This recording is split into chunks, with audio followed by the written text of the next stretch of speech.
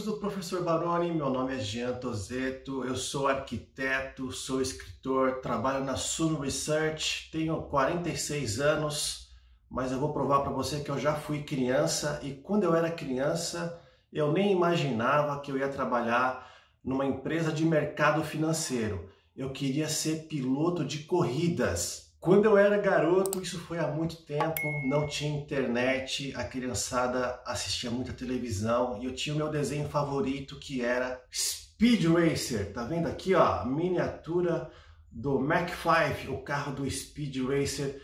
Eu era vidrado nesse desenho e por causa desse desenho eu queria ser piloto de corridas naquela época a televisão passava corridas de Fórmula 1 assim como hoje. O piloto em evidência era o Nelson Piquet e depois entrou também o Ayrton Senna na história.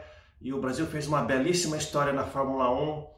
E, e muitos garotos como eu queriam ser pilotos de corrida, mas a gente sabe como isso é difícil. E como é que eu saí do sonho de ser piloto de automóveis e fui parar como editor de livros da Sun Research? É isso que eu vou contar brevemente neste vídeo porque o mais importante é que nessa trajetória eu me tornei investidor de fundos imobiliários.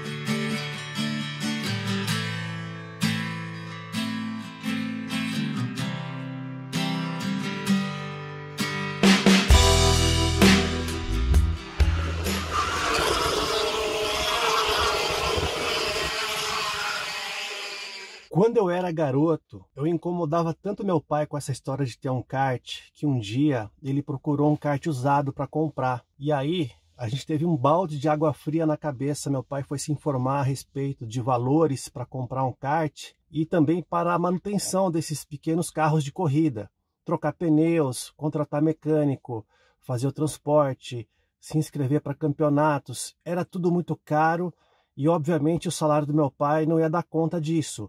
Ou a gente comia e se alimentava e pagava as contas, ou meu pai me bancava no kart. Então, um dia ele disse para mim, Jean, esquece esse sonho de ser piloto de corridas, porque isso é muito caro e a gente não tem condições para isso. É muito difícil para um pai ter que dizer para o filho que ele não vai poder realizar o seu sonho não naquela hora. Então eu tive que trocar de sonho. Bom, se você não pode ser piloto de corridas, que tal ser jogador de futebol? Foi aqui que eu passei boa parte da minha infância, nesse campo de futebol. Várias vezes por semana eu vim aqui jogar futebol na escolinha da prefeitura. Eu queria ser goleiro, eu treinava muito, feito esse garoto aqui, ó. E quando eu não jogava futebol de campo, eu jogava futebol de salão nessa quadra. Com o tempo, eu também entrei em escolinha de vôlei, basquete e handball. Eu jogava tudo que podia. Naquela quadra de cimento queimado, cimento áspero, onde a gente ralava o joelho jogando futebol de salão, praticando vôlei, basquete, handball, a gente teve uma professora muito especial, era a dona Dirce. Um dia ela me chamou no canto e me disse o seguinte: Jean, eu vejo que você é um bom goleiro, que você treina bastante, mas eu acho que você seria melhor jogador de vôlei. Acho que você seria um ótimo levantador. Ou seja, ela não quis me desanimar, ela quis me alertar para o seguinte, que eu poderia ser melhor aproveitado em outras áreas e eu só fui descobrir isso muito tempo depois. Além da dona Dirce, eu tive ótimas professoras também nessa escola estadual. Escola Estadual Padre José Narciso Vieira Ehrenberg, no bairro do João Aranha. Eu treinava esporte de manhã no campinho, no campo, na quadra. À tarde eu vim aqui para estudar. Eu tive ótimas professoras, a dona Idma. Ela pedia uma redação por semana para todo mundo. Para mim ela pedia duas, eu não entendia porquê, só agora eu sei. Mas em 1989 aconteceu uma greve de professores que durou várias semanas. Então meu pai, minha mãe, eles ficaram preocupados com o nosso estudo e eles tomaram uma decisão.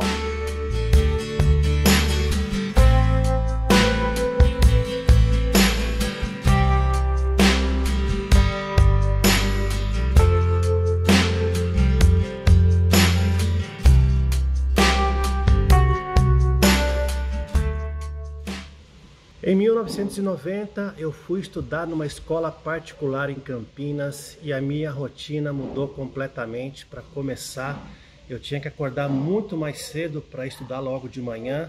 Então acabou o futebol, acabou o vôlei, acabou o handball e o basquete. A partir de 1990 era só estudar para tentar passar de ano, o que no começo era muito difícil. Também foi difícil naquela época abrir mão dos meus sonhos, porque eu percebi que eu não seria piloto de corridas, eu não seria jogador de futebol, eu nem seria guitarrista de uma banda de rock, porque para tocar guitarra eu também não tinha talento, e eu ia ter que me acostumar com a ideia de que eu teria que estudar muito e depois trabalhar muito para poder levar minha vida, uma vida comum que eu não queria levar, mas as condições me obrigaram a enfrentar esse período. Quando chegou a época do vestibular, eu pensei em fazer publicidade e propaganda, mas meu pai, sempre meu pai, ele me podou de novo e com razão. Ele me disse o seguinte: Jean, não existe reserva de mercado para publicitários. Qualquer pessoa com iniciativa pode trabalhar com publicidade sem necessariamente ter um diploma. Você precisa ter um diploma que te dê uma certa garantia de você trabalhar dentro de uma regulação, dentro de um conselho profissional. Então ele citou medicina, direito, engenharia, e eu estava atendendo para fazer engenharia, mas eu não gostava muito de cálculos, então eu escolhi fazer arquitetura, porque eu saberia que lá na frente eu poderia me libertar um pouco das amarras e seguir meu caminho. Acontece que eu me apaixonei pela profissão ainda na faculdade e eu me formei e comecei a trabalhar como arquiteto mesmo. Talvez pelo fato de eu não ter me colocado pressão para ser um arquiteto desde pequeno, talvez pelo fato de eu não ter sonhado em ser arquiteto no futuro, eu levei a faculdade com menos pressão e eu comecei a carreira sem essa pressão também. E acabou que deu certo, eu comecei a fazer projetos residenciais para várias famílias na cidade de Paulínia. Eu também fiz projetos comerciais, industriais, institucionais. Eu posso dizer que eu desenvolvi uma bela carreira de arquiteto. Lógico, eu não sou o novo Niemeyer, eu não sou o novo Ryotaki, eu não sou o novo Paulo Mendes da Rocha.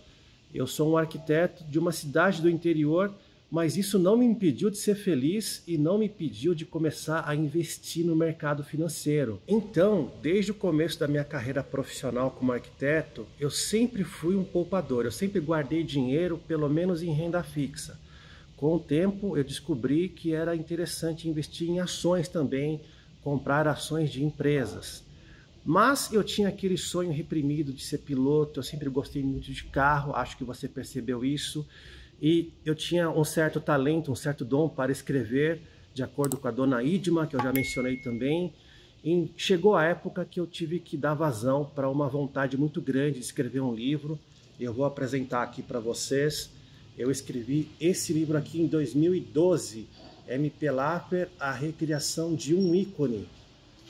Em 2012, eu bati na porta de várias editoras e adivinho o que aconteceu? Algumas nem abriram, outras me fecharam as portas, tudo bem. Então eu queria muito publicar esse livro e eu fiz uma publicação independente. Acabei fundando a minha própria editora, a editora Viva Lendo. Alguns anos depois, esse livro caiu nas mãos do Tiago Reis, fundador da Suno Research. Ele leu esse livro, particularmente ele gostou muito porque ele não tinha carro na época mas ele disse o seguinte para mim: Jean, se você fizer pelo mercado financeiro o que você fez por esse carro antigo, a forma como você escreve, não vai faltar trabalho para você. Vem trabalhar comigo e eu aceitei. Ainda em 2017, bem no comecinho da Suno. Infelizmente, a versão impressa desse livro não está mais disponível nas livrarias, mas eu providenciei uma versão eletrônica que você pode encomendar na Amazon, caso você se interesse pela leitura assim como o Tiago se interessou. Mas em 2017 eu conheci uma pessoa muito especial. O nome dela é Professor Baroni e o jeito dele falar, os conselhos que ele me deu, ele me lembrou alguém que eu gostava bastante no passado, que era o irmão oculto do Speed Racer.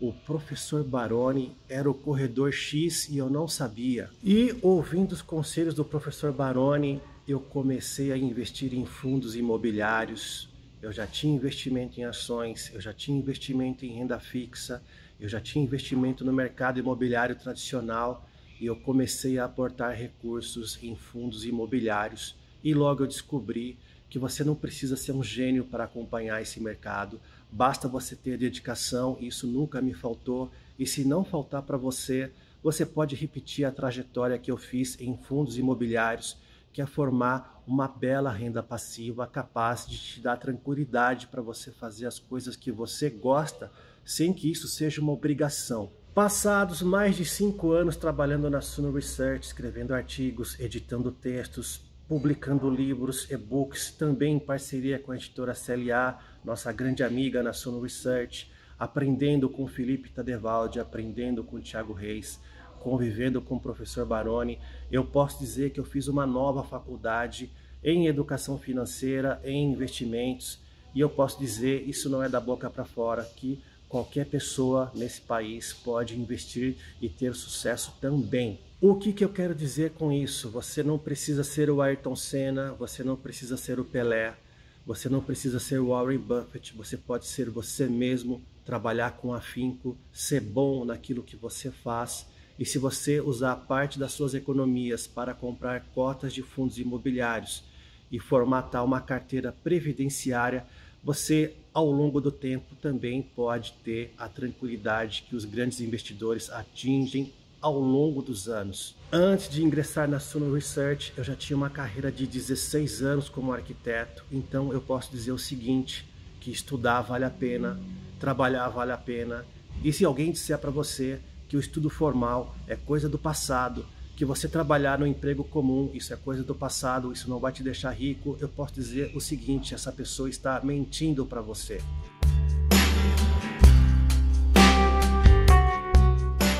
Voltando ao ponto inicial da nossa história, você pode me perguntar se eu não me sinto um fracassado. Afinal de contas, eu não consegui ser um piloto de corridas, eu não consegui ser um jogador de futebol, e eu vou dizer que não me sinto um fracassado. Pelo contrário, eu estou construindo a minha vitória. Foi isso que eu aprendi trabalhando na arquitetura e depois trabalhando como editor de livros. Já se vão quase 10 anos como editor de livros e foi isso que eu aprendi na Suno Research, principalmente investindo em fundos imobiliários.